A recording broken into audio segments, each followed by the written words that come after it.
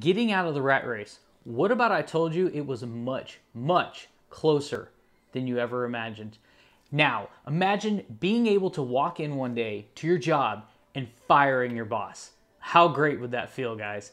And being able not just to sit at home and do whatever you want or sit on the couch and eat bonbons and turn into my 600 pound life, but you can. The idea of getting out of the rat race is so you can live your life on your own terms. And guys, in this video, we're gonna go over exactly how to find the strategy that works for you, and we're gonna come up with your financial freedom number.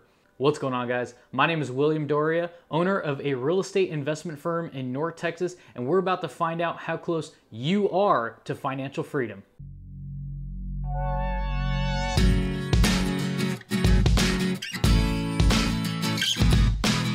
So, we're not going to be all guru like here, and we're not going to promise the world with little to no effort and stuff like that, but we are going to go over the cold, hard facts. When you buy a real estate investment property with a mortgage on it, after PITI, that's principal, interest, taxes, and insurance payment, and we're also going to take into account vacancies and repairs, you should be able to net cash flow between $200 and $400 per month on each investment property. Now, I know what you're saying.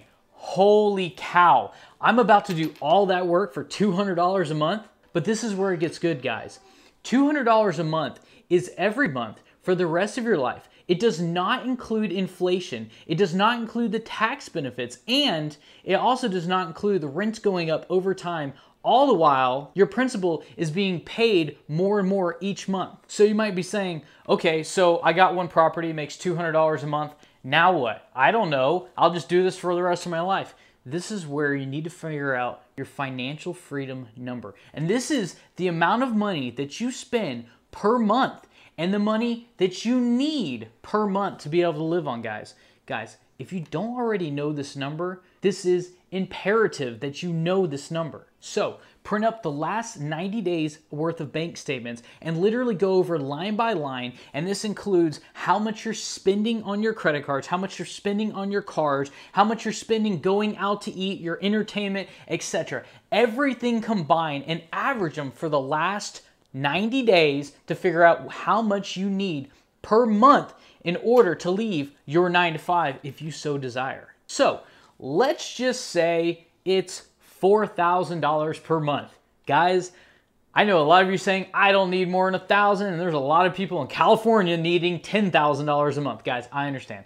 But we're gonna use a baseline. We're just gonna say $4,000 a month. If the number's much higher, that's great. If it's lower, that's awesome too.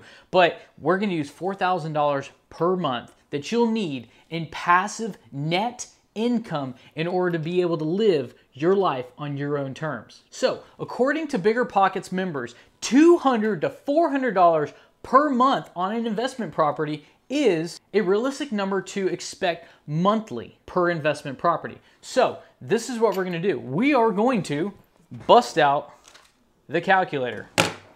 And at $4,000 per month divided by 300, you'll need 13 investment properties. Now, you might be saying, holy cow, where am I going to get the money for 13 investment properties? And the famous one, my favorite, I don't have time. This can be done with way less effort than a part-time job. Your goal that you should have is to just acquire two rental properties per year. That's it. Two rental properties per year divided by, I know this is easy math, guys, 6.6. Let's call it seven years. Seven years you are away from becoming financially free. Guys, and this is if you're 18 years old. This is if you're 25, 60 years old. Guys, the age doesn't matter. The numbers don't lie. This is what you're going to need. And this does not include any inflation or rise of rents that are coming. This is just two to four hundred dollars a month. We cut it in the middle, guys. If you can score some great deals and get four hundred dollars per month, you're in an even better situation and you can cut that seven year mark down to five years. And you might be saying, okay, so that sounds good. How do I get started? How do I buy these properties? Where am I going to come up with the money? How do I learn what's a good investment? Guys, there's a lot to this. There's definitely more than I can explain in a 10 minute video, I promise. But be sure to subscribe to my channel below, write down any comments that you may have, and make sure you hit that notification bell because we're gonna go over weekly on every single thing that you're gonna need to learn and you're gonna need to put into your tool belt of knowledge in order to become a better investor. Becoming a real estate investor and a good one doesn't happen overnight, guys. It requires a lot of due diligence and knowledge. So you might be wondering, okay, how do I buy these properties? There's a strategy out there that you can actually go out, find a property, renovate it, and buy it with somebody else's money.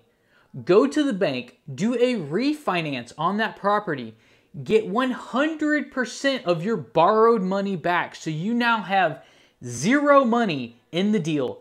You get to keep the house and get to keep the cash flow and get to keep the appreciation and get to keep all the tax benefits. When I first heard of this strategy, I thought it was way, way above and beyond what could even be possible. And I was like, is this even legal? Like, how do you buy something and let somebody else pay for it, but I get to keep all the benefits and do basically whatever I want with it in the future? I could even move into it one day when it's paid off. Like, how does this even work? Like, how is this possible? So I deep dive into it. And the strategy out there, we're gonna go over in the next video. And it's imperative that you use this strategy unless you're a baller and you've got enough cash to go out and buy 10 properties. Well, in that case, you're gonna be home free, buddy. But I'm assuming that you either A, don't wanna blow all your cash on investment properties, and B, probably don't have enough to dump on all those properties. Guys, and most people don't. I don't blame you. If you had that money, I don't want you to spend it anyways. Why don't you use somebody else's money? And